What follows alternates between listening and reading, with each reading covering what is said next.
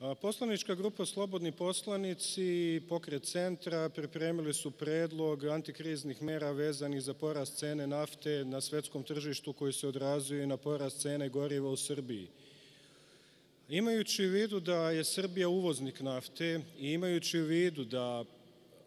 je tražnja za naftom izuzetno neelastična, odnosno kada kupujete naftu morate se odreći nečeg drugog u svome životu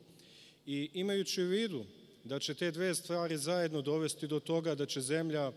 neće ući u recesiju, ali će privredni rast biti značajno usporen, što u mnogome minira sve reformske napore Srbije koje smo do sada imali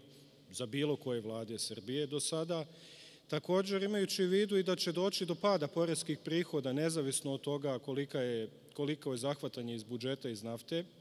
naš predlog je da uputimo vladi dva seta mera. Jedan set mera se odnosi na kratkoročne mere, a to je da vlada može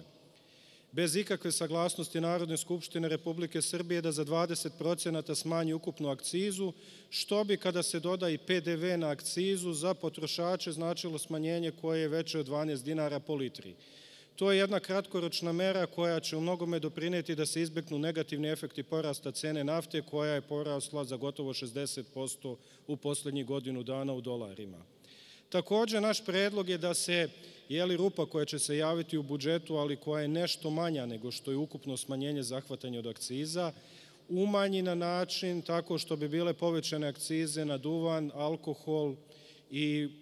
bez, i gazirana pića, s tim što bi to moglo biti do 50% umanjenja budžeta, a da se ostatak nadoknadi tako što će biti smanjeni rashodi konsolidovane države Srbije u iznosu jeli, smanjenja budžeta koje nastane kao posljedica smanjenja akciza.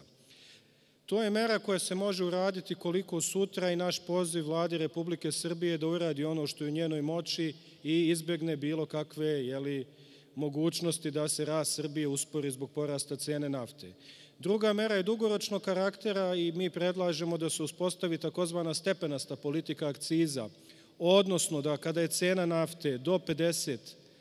do 50 dolara po barelu na svetskom tržištu, da tada iznos akciza na naftu bude jednak onom iznosu koji je danas da kada je cena nafte od 50 do 80 dolara, iznos akciza bude umanjen za 20% u odnosu na današnji nivo, a kada je cena nafte preko 80 dolara, da iznos akciza bude umanjen za 50%.